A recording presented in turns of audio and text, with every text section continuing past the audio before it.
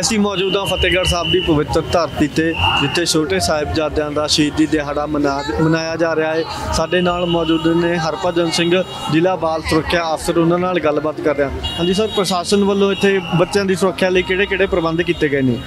ਦੇਖੋ, ਇਹ National Commission for Protection of Children ਦੀਆਂ ਹਦਾਇਤਾਂ ਅਨੁਸਾਰ ਕਿਸੇ ਵੀ ਜਗ੍ਹਾ ਦੇ ਉੱਤੇ ਪੂਰੇ ਭਾਰਤ ਦੇ ਵਿੱਚ ਜਿੱਥੇ ਇਕੱਠ ਜਾਂ ਸਮੂਹ ਆਰਗੇਨਾਈਜ਼ ਕੀਤਾ ਜਾਂਦਾ, ਉੱਥੇ ਫਿਰ ਬੱਚਿਆਂ ਦੀ ਸੁਰੱਖਿਆ ਨੂੰ ਲੈ ਕੇ ਅਲੱਗ ਤੋਂ ਇੰਤਜ਼ਾਮ ਕਰਨੇ ਹੁੰਦੇ ਨੇ। ਜਿਵੇਂ ਤੁਸੀਂ ਪੁੱਛਿਆ ਕਿ ਇੱਥੇ ਜਿਹਦਾ ਕੋਈ ਬੱਚਾ ਗੁੰਮ ਜਾਂਦਾ, ਤਾਂ ਉਹਨੂੰ ਉਹਨਾਂ ਦੇ ਮਾਪੇ ਨਾਲ ਮਿਲਾਉਣਾ।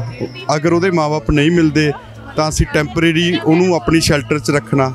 ਅਗਰ ਲੰਬੇ ਸਮੇਂ ਤੱਕ ਨਹੀਂ ਮਿਲਦੇ, ਤਾਂ ਉਸ ਨੂੰ ਸਰਕਾਰ ਵੱਲੋਂ ਜਿਹੜੇ ਬਾਲ ਘਰ ਬਣਾਏ ਗਏ ਨੇ, ਉਹਨਾਂ ਬਾਲ ਘਰਾਂ ਦੇ ਵਿੱਚ ਉਸ ਨੂੰ ਅਸੀਂ ਰੱਖਦੇ ਹਾਂ।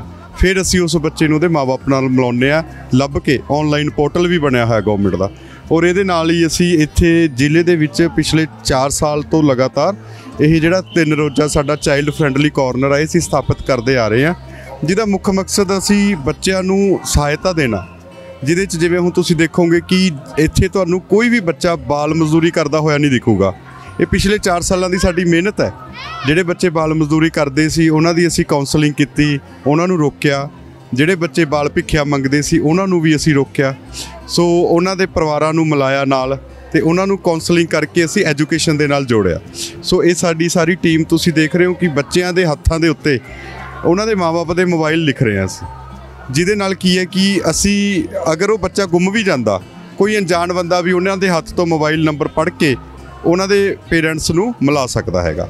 ਸੋ ਇਹ ਸਾਰੀ ਐਕਟੀਵਿਟੀ ਅਸੀਂ ਰੂਟੀਨ ਕਰਦੇ ਰਹਿੰਦੇ ਆ ਸੋ ਇਸਤਰੀ ਤੇ ਬਾਲ ਵਿਕਾਸ ਵਿਭਾਗ ਸਾਡਾ ਵਿਭਾਗ ਹੈ, ਪੰਜਾਬ ਦੇ ਵਿੱਚ, ਜਿਹਦੇ ਤਹਿਤ ਇਹ ਸਾਰਾ ਕੁਝ ਅਸੀਂ ਕਰ ਰਹੇ ਹਾਂ। ਤੁਸੀਂ ਦੇਖ ਸਕਦੇ ਹੋ ਕਿ ਬੱਚਿਆਂ ਦੀ ਸੁਰੱਖਿਆ ਲਈ ਉਹਨਾਂ ਦੇ ਹੱਥਾਂ ਉੱਤੇ, ਉਹਨਾਂ ਦੇ ਪੇਰੈਂਟਸ ਦਾ, ਉਹਨਾਂ ਦੇ ਮਾਪਿਆਂ ਦਾ ਨੰਬਰ ਲਿਖਿਆ ਜਾ ਰਿਹਾ ਹੈ। ਤਾਂ ਜੋ ਅਗਰ ਕੋਈ ਬੱਚਾ ਇੱਥੇ ਗੁੰਮ ਹੋ ਜਾਂਦਾ ਹੈ, ਤਾਂ ਕਿਸੇ ਨੂੰ ਉਹ ਬੱਚਾ ਲੱਭਦਾ ਹੈ, ਤਾਂ ਉਹ ਉਸਦੇ ਮਾਪਿਆਂ ਨਾਲ ਸੰਪਰਕ ਸਾਧ ਸਕੇ।